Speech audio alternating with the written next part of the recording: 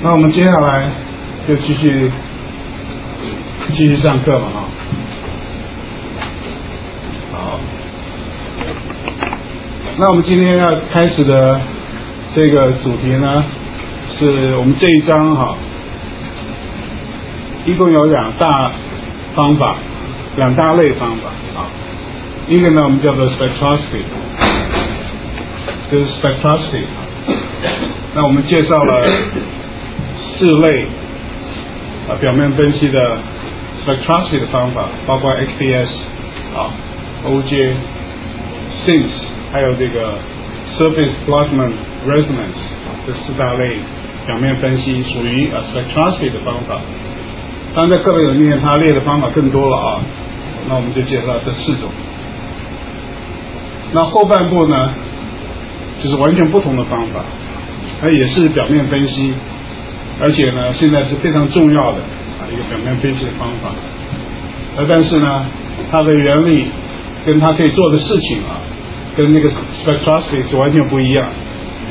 那 spectroscopy 的话，呃，尤其前三个方法都可以告诉你表面是有些什么样的元素啊，甚至可以告诉你？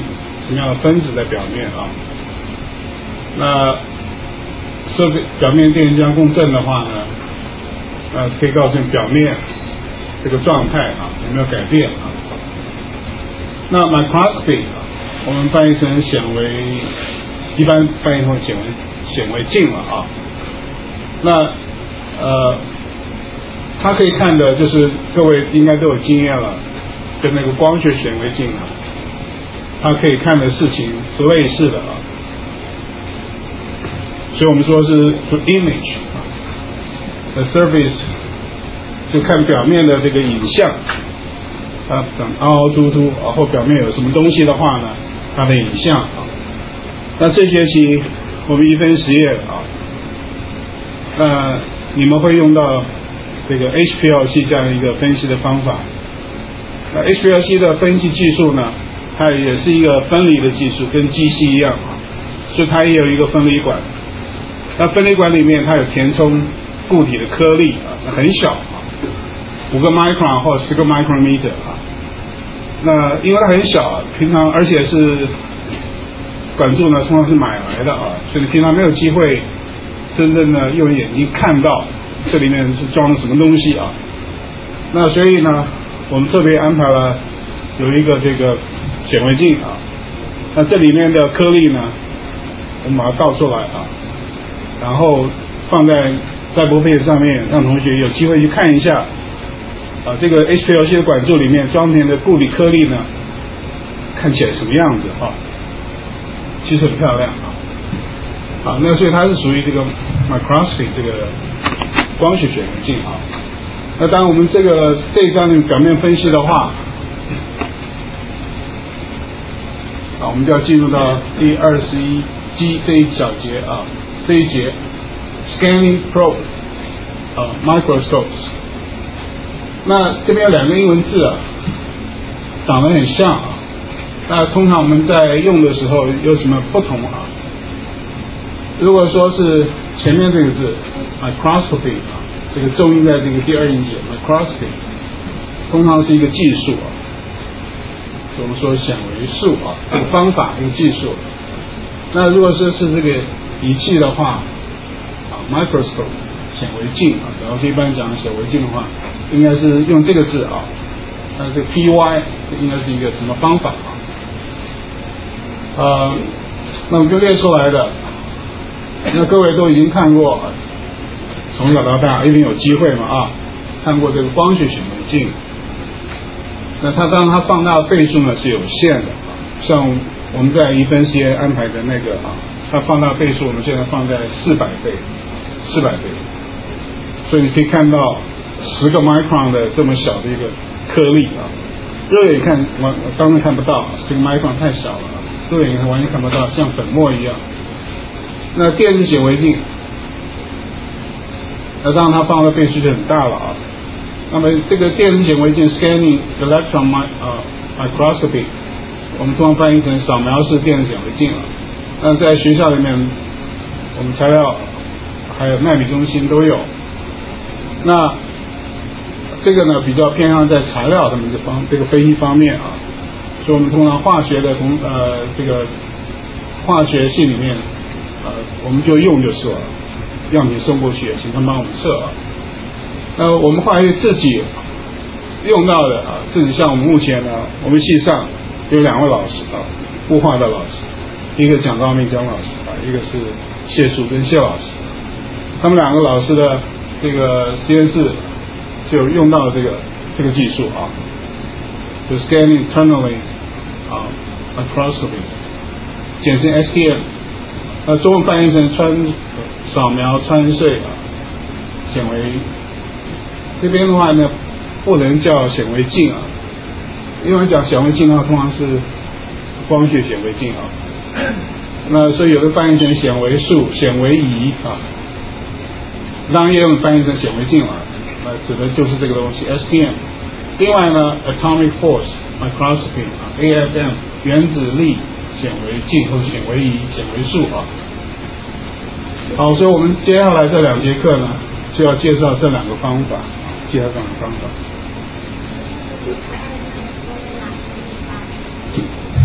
大声一点，好，OK，对不起啊，啊，我自己听没有感觉啊，好，谢谢，这样可以吗？这样可以吗，好，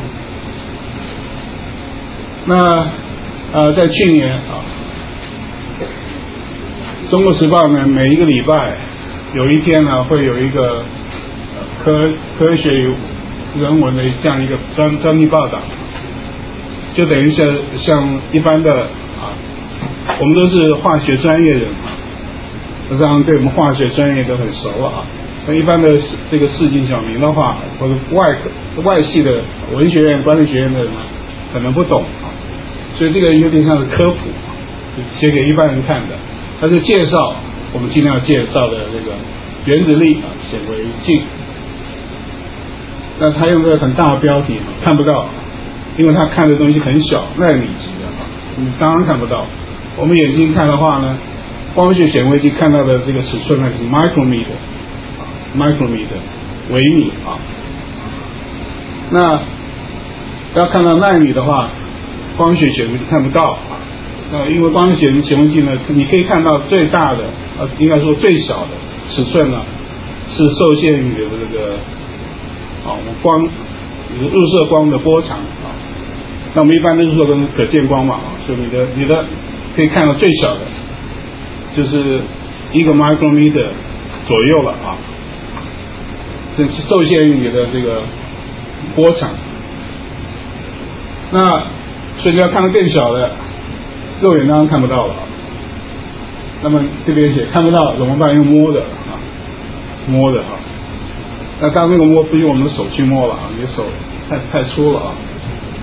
所以有一家卖那个，这是一家啊广告，就这家公司呢，它有卖这个 AFM 原子力显微术啊显微仪啊，它的广告，所以它用一一个手指头呢去摸啊这么小的东西啊纳米级啊，那当然这个不成比例了，这是广告嘛啊。OK，好吧。那不管我们要介绍的是 STM 或者 AFM 啊，那我们的课本呃或者是一般我们归类的时候呢，就他们有一个共同的一些特点，所以我们通我们把它归在一个大标题的话，大标题的话，我们把它归在 Scanning Probe 啊 Microscope，SPM 啊。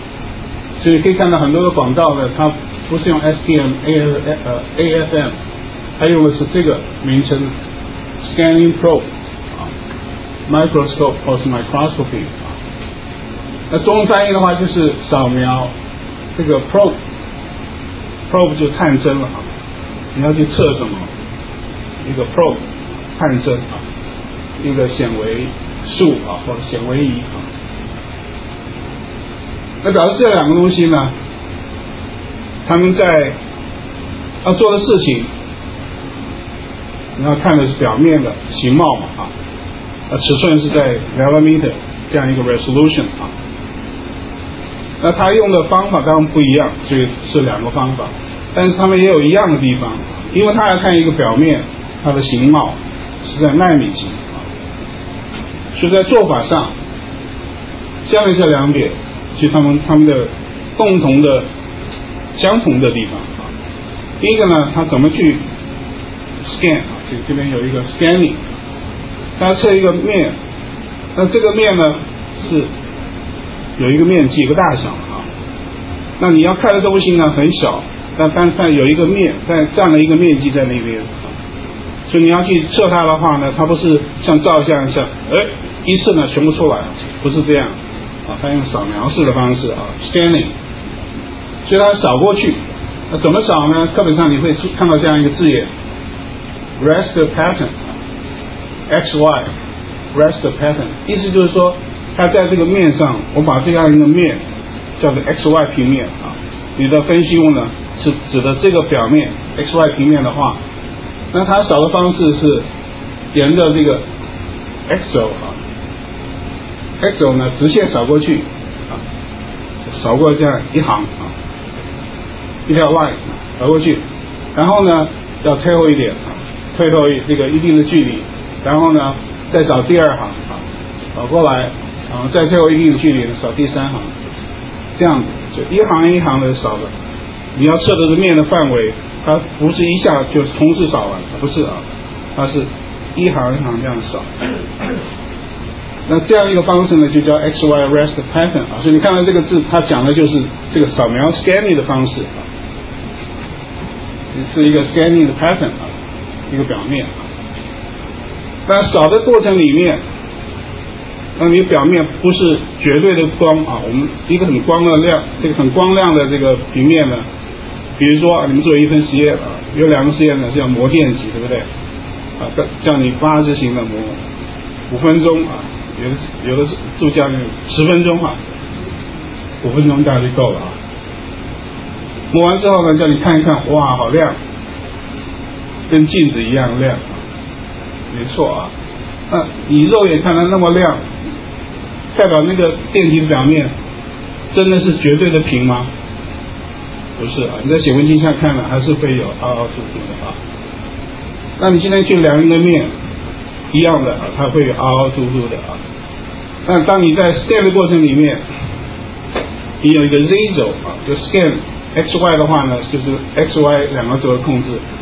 你还有第三个轴是 z 轴，这样一个探针了啊。在 scan 的时候。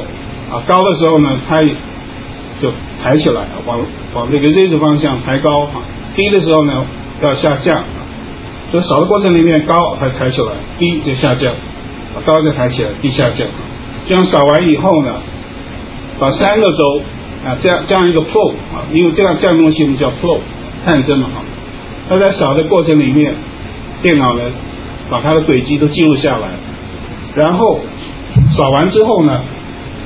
你再去重组你的影像，啊，所以它是靠电脑，所以这个电脑非常重要啊，嗯，那好在我们现在技术呢，电脑又快啊，那这个软体的技术也很好啊，所以它很快的可以把你的三 D 的影像呢，把它重组出来，秀在荧幕上，让你知道测完之后你的影像啊就出来了啊，所以它是一个三 D 的影像，那很重要的就是说，它是用这样方式做 scanning。然后 Z 轴配合啊，去调这个在 Z 的方向呢，这个高低这样调整啊，所以让你有机会呢，去把这个三 D 的影像呢啊重重组出来啊，电脑重组出来。那它很重要就是它可以做到原子级啊，一个原子一个原子都看得到啊。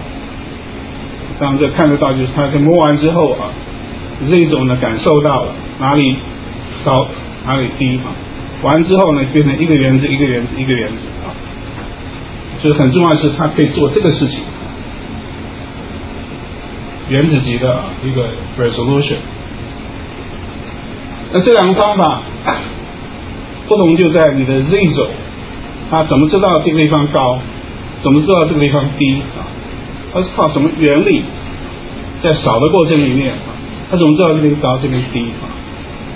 那这个 Z 轴的这个所谓的作用力啊，他怎么知道？然后去做这个高低的调整呢？这个原理不同，所以有这两个方法出来，所以这个原理不同啊，所以这个是共同的地方，都是这样扫，然后 Z 轴都是高高低低啊，所以可以得到一个影影像一个 image。所以我们下面要去学的时候，你就要去了解这两个方法，他到底在高，他为什么知道这边高那边低啊？是什么原因让他知道？了解这个原理。那么在进入这个原理教之前呢，先看一下他多厉害。所以我们把后面的图啊，我们后面这个这个是旧的啊，图的编号呢不一样，不过图完全一样的图啊。那这个是 STM 啊，它在扫一个 platinum 这个白金的表面，那么然后呢用点针器啊。吸附了一些碘原子在那个表面啊，然后用这个 STM 去看，到底看得到看不到这个碘原子啊？那么结果你可以看到呢，这个白白的啊，就是碘原子啊，白白的就是碘原子。然后这边有个空洞，这个作者特别让你看一下，哎，这边有个洞啊，啊，它的这个扫完之后呢，它的影像跟这些碘原子的地方不一样啊，所以这个可以看到。原子哦啊，这个这个是很不得了的事情啊，可以看到原子真的在那个地方啊，点原子啊。那你看它的 scale 呢？三个 nanometer 啊，是这样一个 scale 是三个 nanometer，然后这个这边三个 nanometer，所以它的尺寸三个 nanometer，三个 nanometer，然后这个 Z 轴的解析度更高啊，零点二、零点四个 nanometer。所以它解析度非常非常的高啊，好，这是 STM。那么下一张图呢是 AFM，那这是在一个这个 mica，mica 是云母片啊。那我们要找一个机子很平的啊，你不能找一个表面的就本来就凹凹凸凸的，所以你要找一个基质很平的啊。其中有一个呢就是 mica，就是云母片啊。它的基质很平啊，那么在这上面呢，还有 two double strand DNA，two 就是两条，你可以看到两条嘛，两条。那每一条本身就是一个双股螺旋的 DNA 啊，本身这是一个双股螺旋 DNA，然后两条摆在一起啊，用这个 A AFM 呃可以测到啊，可以测到，而且蛮清楚的啊。那个这个当在啊，这个也是非常不简单的啊。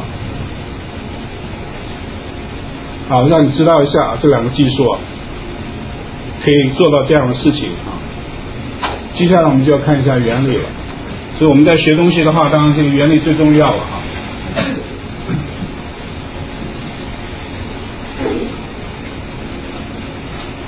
啊，第一个方法也是它在这两个方法里面。最先被发展出来的啊，是这个方法，scanning internally 啊，scanning internally 啊，microscopy 啊，STM。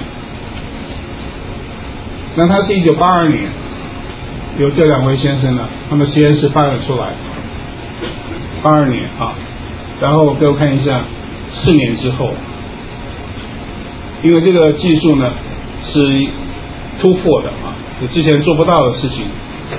那么他们两位这个实验室呢，呃，做出来啊，证明说我可以看到原子级的这样一个解析度的这样一个这个技术，所以四年之后就得到诺贝尔物理奖啊，这是非常不容易的事情啊。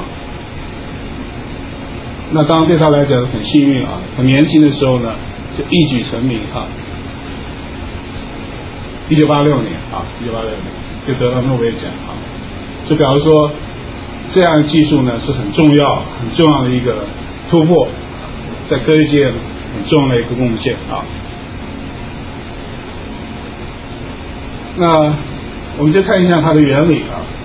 那当我们现在讲的话，讲原理其实很简单啊。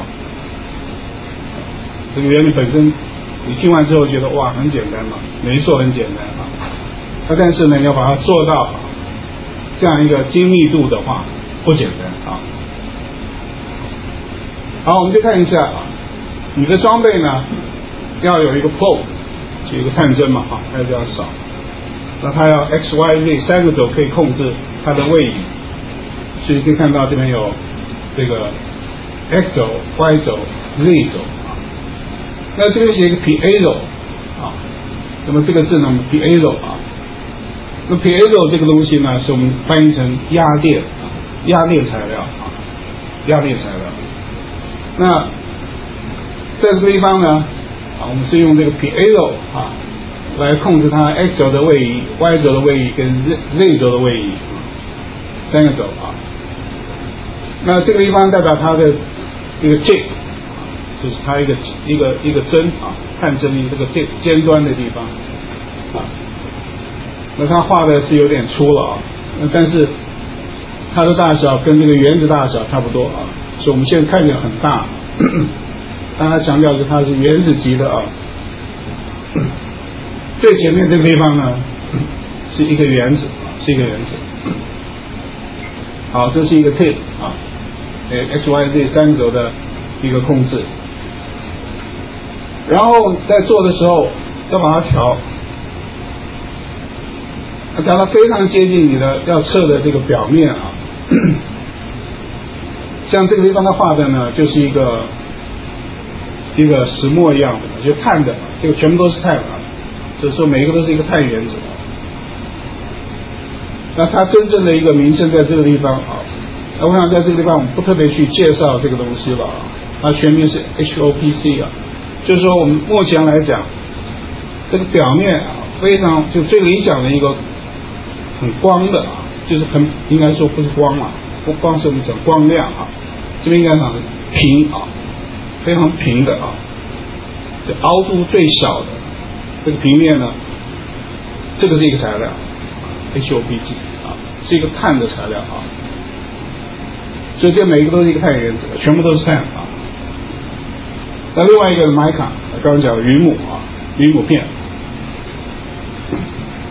啊，所以这个是啊，它把它当做一个测试的一个一个表面啊，都是碳原子。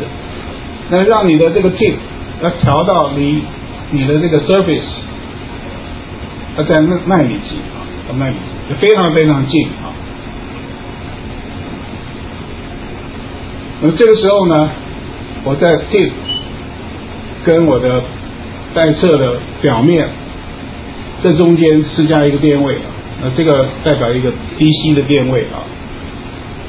那么然后呢，我们会发生一件事啊，虽然我没有接触到，但是因为非距离非常非常近。那我施加一个小的 DC 电位的时候呢，你会发生一个电流啊，这个电流产生了啊。那你说没有接触怎么会有电流啊？这电子不是很大吗？啊，没错啊。但是因为你非常非常近，所以会有一个电流，人会受到电流。这个电流我们叫穿穴电流，隔空穿过去了，穿过去啊，所以叫 tunneling current 啊。所以这个 tunneling current 发生的这个条件。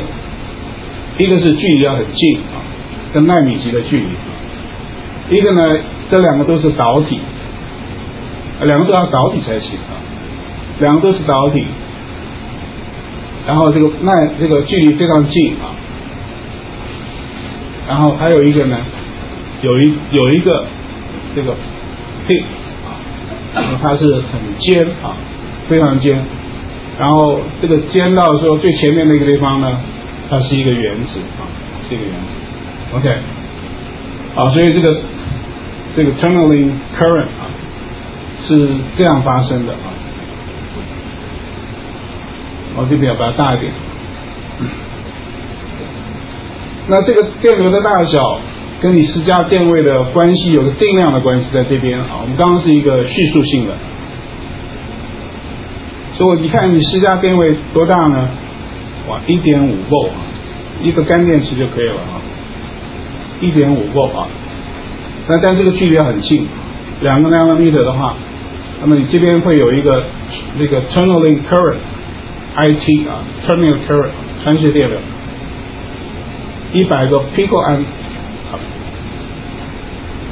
那一百个 p 管那很小了啊，十的负十二次方，十的负十二次方安培当然这很小，但是呢啊可以量得到啊，这就是你的充电 current 啊。那你要是看这个地量关系的话，这是电流。那各位上学期做过实验嘛？Ohm's law，电流等于电压除以电阻，对不对？电流等于电压除以电阻，这个是类似啊。电流等于电压，然后后面这一项呢是一个一的负 kd 啊，所以一的负 kd 的话，相当于就是 V 除以一的 kd 啊，对不对？所以它这个这个相当于就是你的电阻啊，它是除以啊除以一的 kd 啊，所以这边是负的话，就代表是相除的啊。那但是呢，这个电阻，那么它是跟距离呢是一个指数的关系啊，是一个指数的关系。而指数关系的话，我们课本没有画啊。那很多时候在介绍的时候呢，会画这张图啊，就说你的电流跟距离的关系啊，电流跟距离的关系，它是一个指数的关系。那指数的关系就是说，你的距离。距离改变一点点，就在这个区域的话，因为你距离很近嘛，你会发生这个穿射电流呢这个距离必须要很近。你在这个有穿射电流的这个区域里面，那你的距离呢改变一点点，你的电流呢变化就很大，很明显的变化啊。这代表什么意思呢？就代表说我的这个力轴很灵敏啊，我距离稍微改变一点点呢。就是你的镜跟你的表面的距离改变一点点的话，这个电流改变就很大，你就看到啊，这个距离现在改变了啊，所以你在距离的解析度上来讲是非常的高啊，这一点点改变呢可以就可以看到啊。好，你先知道这样一个一个关系了啊。那这张图呢，呃，它还有。啊，比较好的这个示意图就是说我这个 t 强调最前面是一个电呃一个一个原子啊原子级，这个 tip 最前面是一个原子，啊这是你的 sample 啊它的表面，那当你这样扫过去的时候，那我就我去 monitor。当这个 tip 扫过去的时候呢，好，那我们看上面一张好了，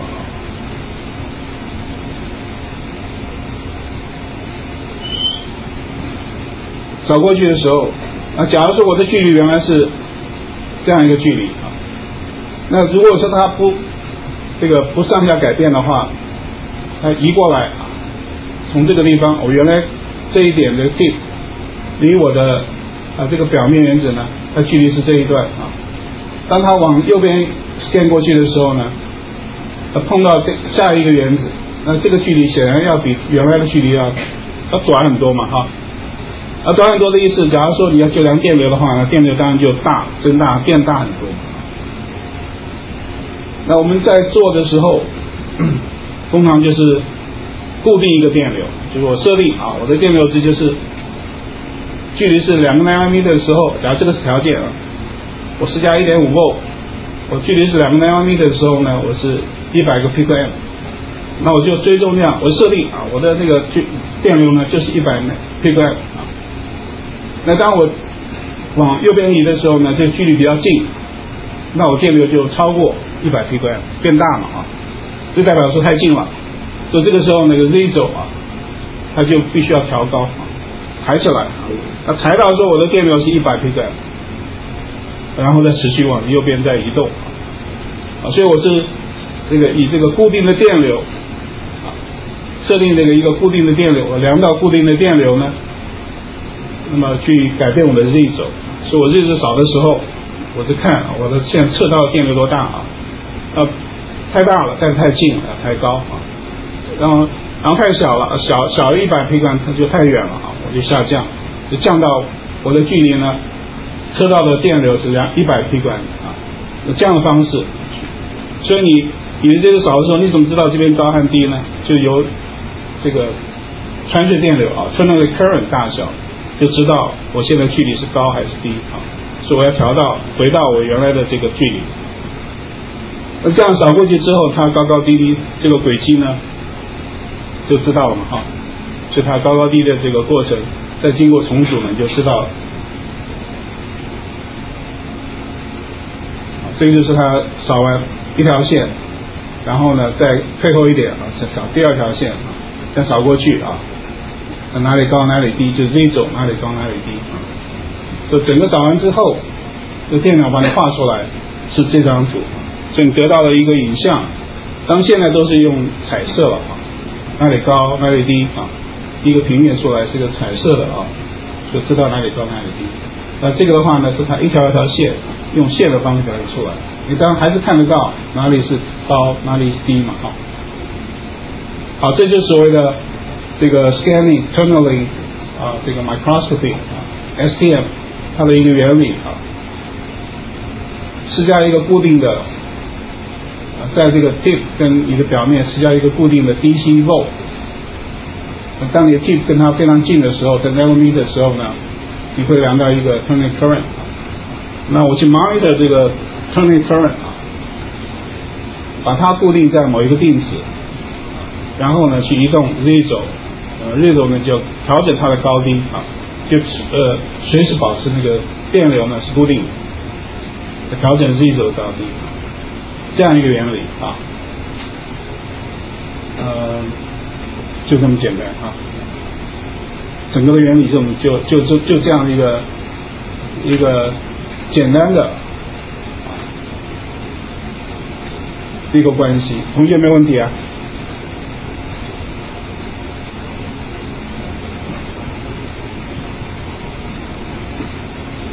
那这样这样一个方法，它有一个限制啊，就是它的表面呢，就是你要带测的这个物体表面，它必须是导体，就是它能够导电，是导体或者是至少是半导体。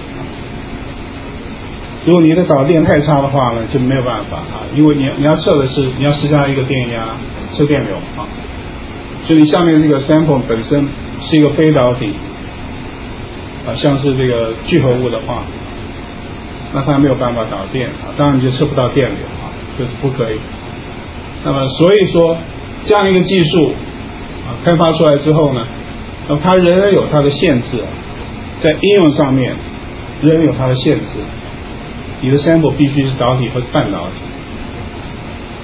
那现在很多的分这个你要分析的 sample 呢是非导体，像 polymer。或者是生物的生物的 sample 啊，那么这个时候呢，怎么办？那他没有办法。比如拿不可以用？不能用，不能用怎么办？那你就要改变做法啊。我们看一下，那这张图的话也是也是一样的哈。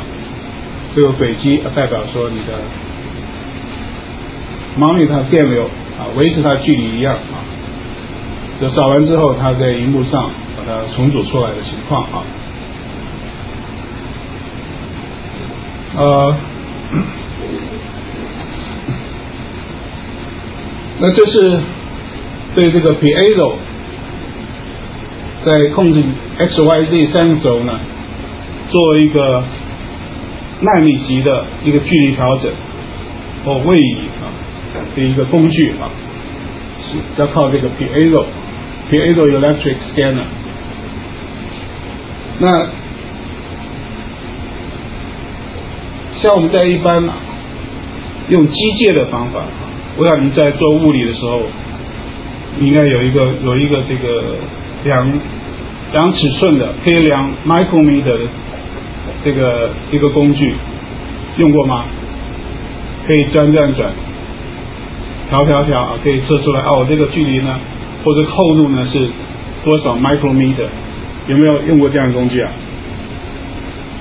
有人点头啊，有没有没有反应？那么一般这样一个精密的啊，这个机械的工具的话，你可以微调，那它可以调到纳米，就是这个 micrometer，一个 micrometer 可以的，可以调调到一个 micro 距离。就说我在位移呢，要控制它这个位移的距离，啊，可以这个机械的啊装置的话，它可以调到一个 micrometer 啊这样一个尺寸没有问题的。但是纳米级是一千个纳米，相当于一个 micrometer，所以你再下去更小的话，一般的机械的东西调不到，所以你要控制它在。纳米的这个这个 scale 位移移动两个 n 那 nanometer 四个奈瓦米的你怎么去控它？它移动的是这么小的一个距离啊，一般的这个机械的东西做不到，所以它用的这个工具呢是要靠这样一个现象压电材料。那么压电材料是我们通电压。它就会变形，通电压它变形，本来是你把它施加外压的时候，它会产生电压，我们现在反过来用，施加电压呢，它会变形。像这张图的话，它有四个 x，对面这个是 x，在两个 x 中间施加一个电压呢，它就会变形，在 x 轴方向的左右改变啊。所以你只要控制 x 跟 x 中间施加一个电压，它就会左右啊，往左边往右边啊这样的摆动。所以这张图蛮好的，摆动。那这个摆动是当纳米级了啊，我们肉眼当然看不到了，就不可能看到啊。那但是它有这样摆动的话呢，就有一个位移嘛，所以它的位移的距离很小啊，啊，它所以它可以这个非常小的范围里面呢做移动。nanometer，那 Y 轴也是一样，Z 轴是上下，上下啊，这个移动。好，所以你必须要有这样一个工具呢，你才能去做这么小范围的小尺寸的一个位移啊。那目前很多的这个。仪器里面呢，它去控制 x y z 啊，nanometer 的一个一个位移的话，它是用这样啊，像一个 tube 一样的啊，一个圆柱状的。那最早期的时候呢，是是这个样子啊。那我听那个谢老师讲啊，现在又又回来啊，说这个比较好啊，我不知道啊，那谢老师专家了啊。OK，所以 anyway。不管它长得是这个样子，啊，或者是下面啊这个样子呢，基本上就是控制 x y z 啊三个轴的 nanometer range 的一个一个移动。那么下面这张图的话，呃，我是我是要让同学看一下，就是这个就是你刚刚看到的 piezo 的 electric tube 啊，那么它在控制它做位移的时候呢，它这个变形。就是，所以左边这张啊，这个虚这个灰色的，就代表它过来了啊。所以这样的话，从这个位位置呢，在这个 x 轴方向位移到这边来，这样一个位移。那当然这个地方也强调啊，这个 tip 非常尖啊，最前面是一个原子，下面这个也是你的表面的原子啊。好吧，那有关的 STM 呢，我们就介绍到这边啊。那同学有没有问题啊？有没有问题？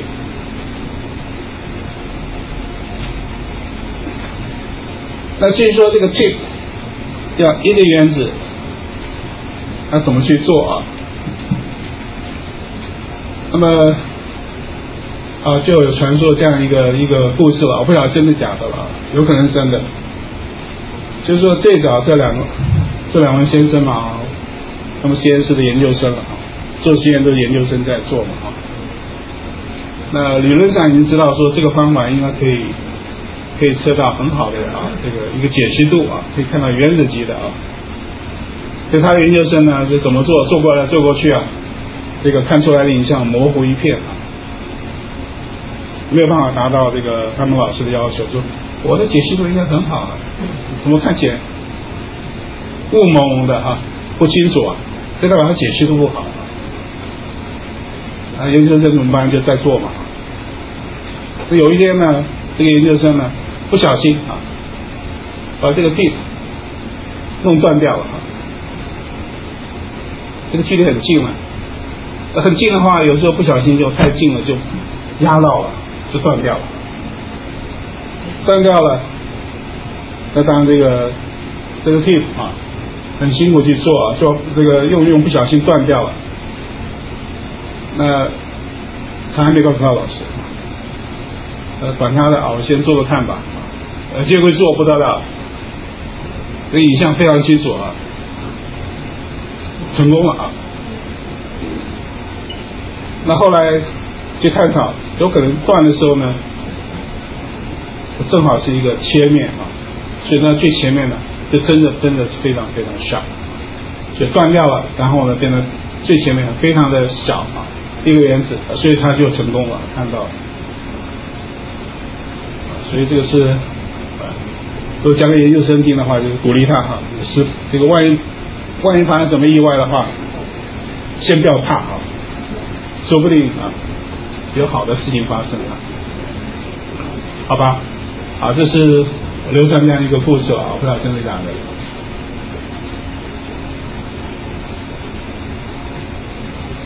那看一下啊，是我们的中快了。我们接下来就看第二个方法，atomic force 啊，microscopy。简称 AFM。那么各位看一下，发展这个方法的人呢？这位先生啊，他就是发展 STM 那两位先生中间的一位。那他之所以会发展这个方法，当然就是原来那个方法有限制，你的样品呢必须是导体或者是半导体。但是我很多样品呢是非导体。Polymer biosample，那原来方法不能用了，那怎么办？那他就要另外去想办法，有没有什么办法呢？可以解决这样一个瓶颈啊？那结果呢，让他想到一个方法啊，当然这个方法跟原来的方法呢完全不一样啊，完全不一样。那我们现在一起看一下，那这个方法呢，我们叫做 atomic force microscopy。那第一个，它仍然要有一个 tip 啊，很 sharp 一个 tip，所以这个地方你可以看到画画的非常 sharp 啊，一个 tip。那么但是这个 tip 呢，那它跟前面那个不太一样啊。那这个 tip 是一个我们叫做 cantilever 啊，翻译成悬臂，就是它是非常非常薄。那最早在做的时候就是一个白金。薄片啊，非常薄，一个白金薄片。那现在不是，就是他们刚发展的时候呢，这是一个白金薄，非常薄的一个白金薄片啊。然后这边一个镜，就这样的挂在这边哈。所以它这个悬臂呢，cantilever 呢，就很像啊，你你一个同学看那个盖那个高楼大厦啊，现在盖高楼大厦最上面呢，就会有一个很大的一个。一个悬臂啊，这个悬臂就要配那个一本，就这个东西，挂在那边，然后呢吊钢筋水泥，这样吊上来哈，然后吊到哪个位置啊？就这样的东西啊。OK，当你的 sample 就放在下面啊，然后这个就是 piezoelectric tube scanner，所以你要去调整或者控制 X、Y、Z 三个轴呢，就靠下面这个。Piezoelectric tube scanner，这上面放你的 sample，放你的 sample，那我去做 scan 啊，去做 scan，那做 scan，那我 scan 的过程里面呢，我 Z 轴要上上下下啊，那我的这个上上下下，我怎么去知道它现在位置呢？是调上调下呢？这个地方不是要不是靠这个施加电压量电流啊，它用是一个光学 detector，光学的一个方式呢，去侦测这个 tip 它的 z 轴是是高还是低，在哪个位置。你看这个图的话就知道很简单了啊，镭射光又是一个镭射光啊，那个镭射光呢，它可以聚焦很小，而且这个单一波长啊，这个镭射光很好用啊，很多地方也看到镭射光啊，单一波长，然后呢聚焦很小。那它就投射在你的这个 cantilever 的表面啊。那为什么它在投射表面就可以反射呢？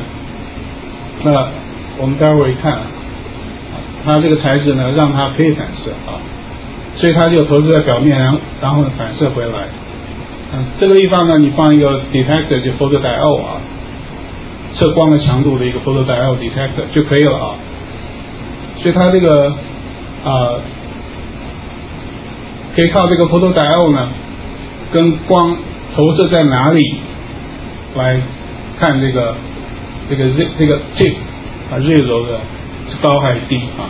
那这张图比较难看出来啊，我们看下面的，看这张图好不好？啊，这个是镭射光嘛啊，镭射光。那这个是你 cantilever，然后你的 tip 在这边。那假如说你现在啊。某一个位置当做你的一个参考指标，说这个 z 轴当做是零，就我现在把这个 z 轴当做是零，啊，比它高，比它低，这个是一个参考坐标啊。然后这个位置啊，它的弯曲度是这个你的你的你的设定的参考参考的一个坐标，z 轴是零，它正好投射在中间嘛啊。那当你的这个 tip 往上抬的话，我给我看一下，当你的屁股往上抬的话，那你这个反射光现在位置在哪里？在哪个区域？会是在 B 呢，还是会在 A 呀？假如说这个这个 tip 往上抬的话，往上翘一点，就翘到这个位置，到这个位置。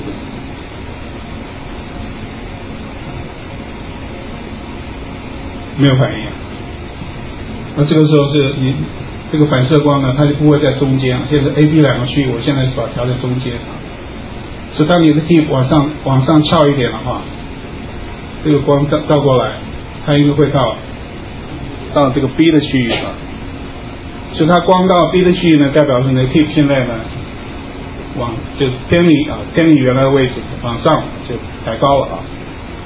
反过来，如果说你的 tip 这个往下沉啊，要调下来了，下来了，下来的话呢，你这个反射光会到 A 去，所以它从你的反射光是在 B 和 A 呢，就知道说你现在这个 tip 啊，原来设定的这个这个距离，那现在是比较高，Z 轴线抬高了，距离比较远了，还是距离比较近，就是你的这个 tip 是往上往下，那由你的光呢，现在是在 B 和 A 就知道了。就这样一个这个光学的一个系统呃来看啊，你的这个 tip 啊，它的在 z 轴的上下的位置啊，那个位置，应该是下课了吧？敲钟我们听得到吗？我听不到啊。下课了吗？好吧，那在下课之前呢，那那。要做一个广告啊，要替我们学校做广告啊。